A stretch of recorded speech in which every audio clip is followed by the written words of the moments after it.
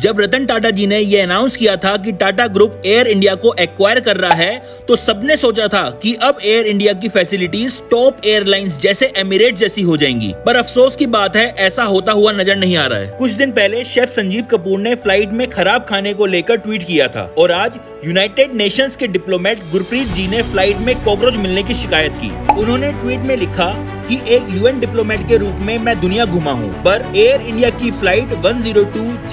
के साथ मेरा एक्सपीरियंस वर्स्ट रहा है यहाँ सीट टूटी हुई है मनोरंजन के लिए कुछ नहीं है रीडिंग लाइट्स नहीं है पर कॉकरोच है दोस्तों आपका एयर इंडिया के साथ कैसा एक्सपीरियंस रहा कमेंट सेक्शन में जरूर बताए